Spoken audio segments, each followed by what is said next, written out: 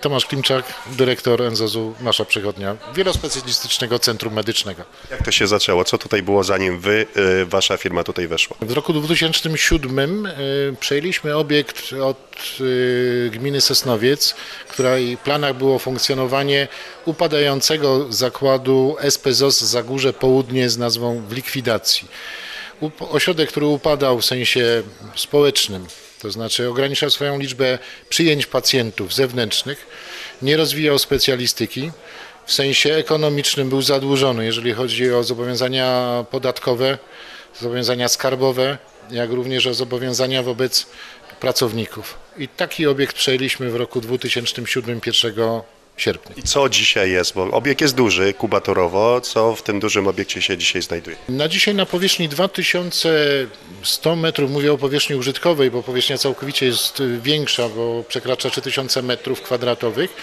Mamy otwartych 30 gabinetów lekarzy specjalistów e, z- kontraktowanych z Narodowym Funduszem Zdrowia, co jest bardzo ważne w opiece społecznej i w odbiorze świadomości tych pacjentów, którzy do nas przychodzą i chcą leczyć się w ramach ubezpieczenia tego powszechnego dobra, które powinno być wszystkim dane. A najważniejszym elementem chyba jest to, że w takiej bieżącej profilaktyce i bieżącej pomocy dla pacjentów poprzez zatrudnienie 12 lekarzy, mówię rodzinnych, którzy służą pacjentom w zakresie profilaktyki, jak powiedziałem, i leczenia pacjenta na co dzień. Te wizyty, które tak potocznie nazywa się lekarzem, wizytą lekarza rodzinnego, kiedy rozstrzyga się właściwie o tym, czy choroba się zaczyna, czy, czy może być to jakiś problem, czy to są rady profilaktyczne, ale raczej, raczej niestety o profilaktyce mało tu jest nasz problem, że wszyscy się jako ludzie martwimy tą profilaktyką dopiero wtedy, kiedy rzeczywiście jakieś tam zjawisko chorobowe występuje. Więc 12 lekarzy POZ-u rodzinnych, którzy przyjmują osoby dorosłe i 6 pediatrów. I to wysokiej klasy pediatrów to są e, lekarze, którzy przeszli do nas z oddziałów neontologicznych czy pediatrycznych szpitali. Mamy w tym zakresie bardzo szeroką możliwość leczenia i konsultacji również w przypadkach nagłych, czego nie życzymy pacjentom, ale również w szpitalach.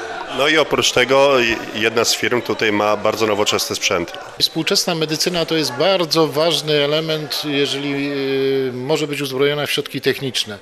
E, Na dzisiaj od 1 września właściwie uruchomiliśmy e, współpracę z firmą Helimed, jest to Śląskie Centrum Diagnostyki Obrazowej, firma, która e, znana jest ze stosowania najwyższej klasy aparatury medycznej i u nas od 1 września funkcjonuje właśnie tomograf komputerowy. Jest to specjalna technologia oparta na znanym może pacjentom powszechnie rentgenie, zdjęciu rentgenowskiej. Oczywiście jest to wszystko wielowymiarowe, skomputeryzowane i na tym polega nazwa tomografii komputerowej.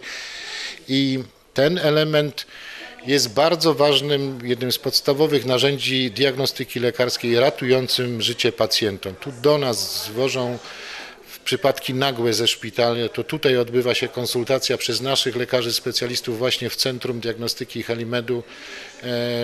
Ta wykluczająca lub potwierdzająca czasami mm, obawy lekarza, czy jego diagnoza może być prawidłowa, wykluczająca i oby tak było na, na szczęście dla naszych pacjentów. I ostatnie pytanie, jak to jest procentowo, ile procent porad tutaj jest bezpłatnych, a ile tych tak zwanych komercyjnych? Znakomicie, że ksiądz porusza temat, który no, w niektórych środowiskach jest tabu, nielubiony, nielubiany moim zdaniem przez chyba grupy, które nie do końca rozumieją coś takiego, co jest zjawiskiem albo posłannictwem. Niech to ludzie odbierają jak chcą, ale nazwijmy to dbaniem o ludzkie zdrowie wprost.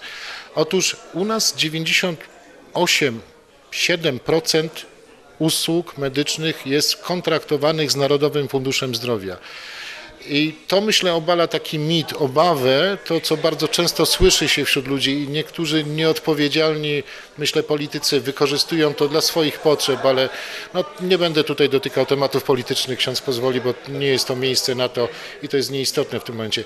Potwierdza chyba to jedna rzecz, że jako przychodnia prywatna, która rozwija mm, w ramach Narodowego Funduszu Zdrowia, e, wielospecjalistyczną y, y, część naszej działalności, świadczy usługi te podstawowe lekarza rodzinnego dla pacjentów, to wszystko jest w ramach, ja mówię, w tej skali przychodów. Jest to 97-98% usług dla pacjentów w ramach refundacji przez Narodowy Fundusz Zdrowia, czyli to wszystko dla pacjentów ubezpieczonych jest bezpłatne. Oczywiście mamy poradnie, które są niezakontraktowane, gdzie nie udało nam się uzyskać kontraktu do Narodowego Funduszu Zdrowia i tu niestety wizyty są płatne. Ale staramy się i na pewno będziemy rozwijać specjalistykę. Tu konkretnie kilka poradni, które powiedzmy na 30 istniejących już, myślę, żeby były taką doskonałym uzupełnieniem, komplementarną ofertą dla pacjentów, żeby, żeby nasi pacjenci czuli się w tym centrum komfortowo, że mają dostęp do lekarza rodzinnego, do lekarza specjalisty, a e, oczywiście nawet w ramach e, tegoż leczenia, jeżeli jest konieczność, do, e, na najwyższym poziomie europejskim Centrum Diagnostyki Obrazowej firmy Helimet.